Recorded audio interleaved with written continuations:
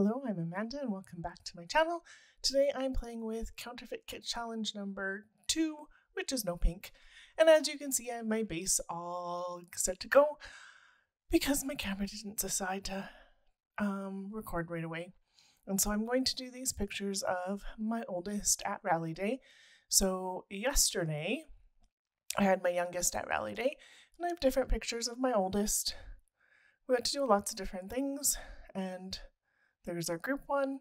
And so this one's going to look a lot different than the other one. And so I took two pieces of paper from my counterfeit kit club.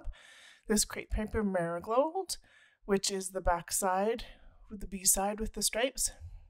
And then this hip kit club one, that's Stargazer.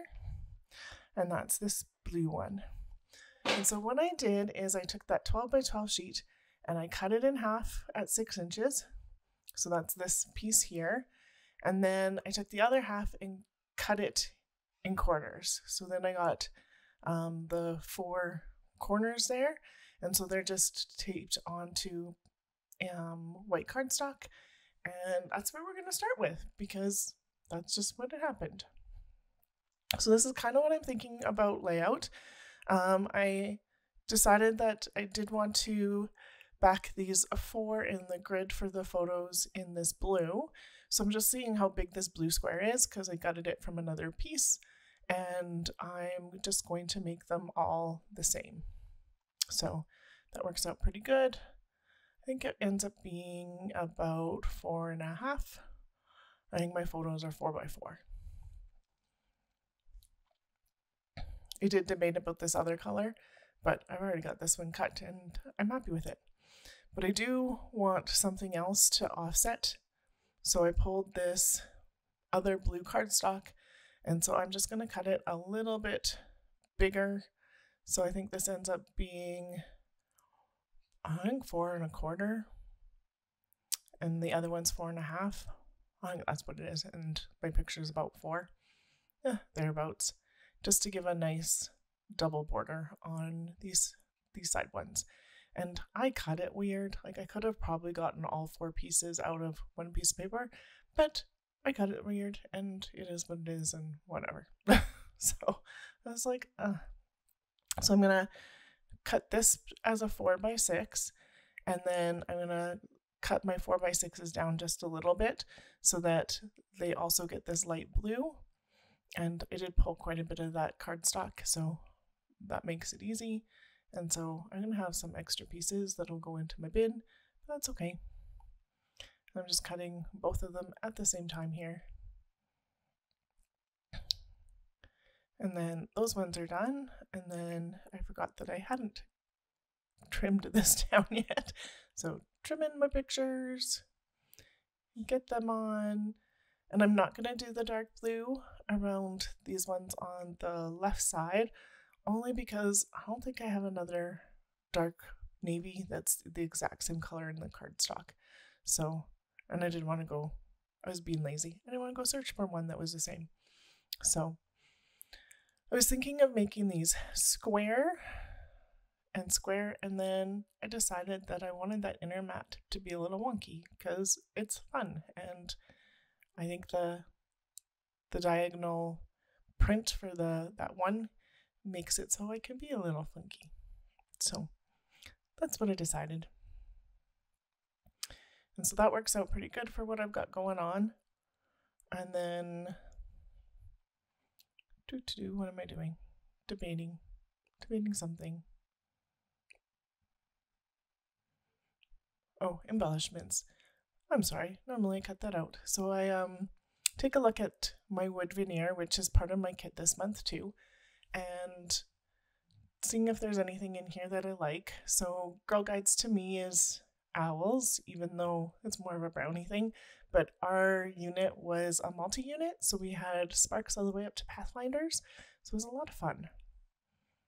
Like, so much fun with these girls. I was the leader of this unit too when my girls were in it, and it was a homeschool unit, so we met during the day, and it was it was lovely.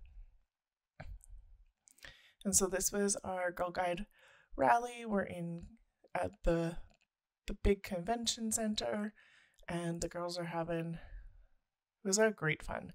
So some of the pictures, um, one of the pictures is us on transit up to there. Um, the group one is outside an astrodome because we got to see an, uh, an astronomy presentation. The lower left one is us in a drumming circle. And then the upper right one is them line dancing. And then beside that is, um, let me think. Oh, them looking at different displays and doing some learning. The one that I'm getting the mat centered for is the older girls could do a self defense kind of course or, yeah, course. Um, so they did a little bit in that. So I have some pictures of my oldest doing that.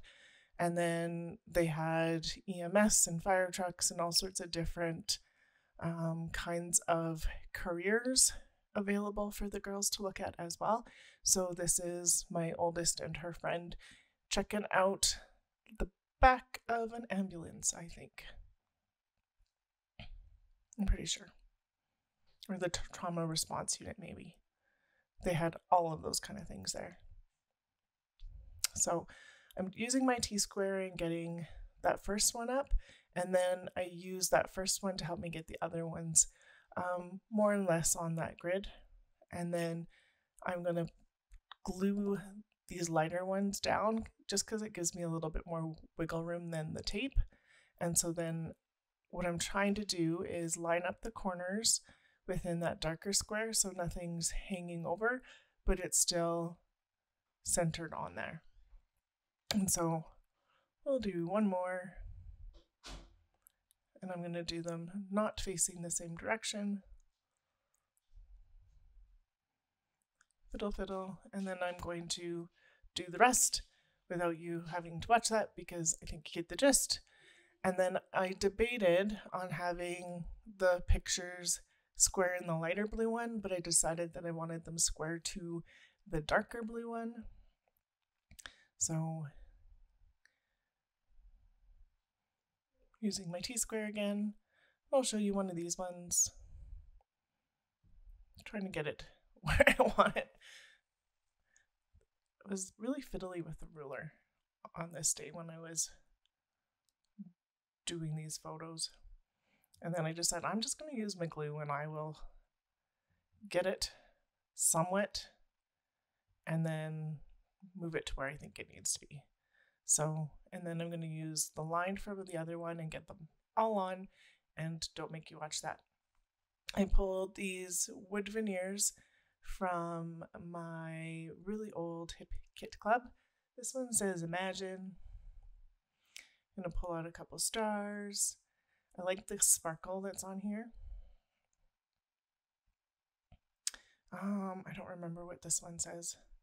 You'll see in the close-ups at the end, which is not very long for this video today, so. And then I did pull out some other wood veneers, so like these hearts, and so I wanted a little bit more of this navy on, so I'm using my Color Theory ink to add a little bit on there. I'm gonna actually add a little bit more in a minute too, but and so now I'm gonna come over to my left side and get this on here and I'm gonna ink up the edges in this navy. Um, so it gives a little bit of that same definition that the right side has, but it's not a thick paper mat. And that wasn't quite where I needed it to be. So, and then just eyeballing those ones because they'll be fine. And so this is how I think I'm going to put them. And my title is going to go Love GGC. And then I thought maybe the rally could go there and the day could go here, but I don't really like that as much. There's this little owl. And then I'm going to put the middle picture up on foam where all of all of our girls are because that's kind of fun. And then these other two will just get put straight down. And then this um, bright one on the left page will overlap just a tiny bit, but it works really well. And this one I minimally embellished today too, so which is kind of unusual for me. I like all the things on my pages normally, so it, it literally just gets the wood veneer today. Nothing else. I look at other stuff, which I cut out because you don't need me to look at stuff and not do anything. Um, but yeah, it gets just the wood veneer. So I'm going to color up this one blue too and glue it on, which is super cute. And then I'm going to get the rally day on right away too. I guess I could have cut this out too, but I did not. So here we go. I'm just lining the top up with the picture, um, so I don't need my T-square or anything for lining these up. And it looks a little bit harder to read on the screen, but it's super easy to read um, in person.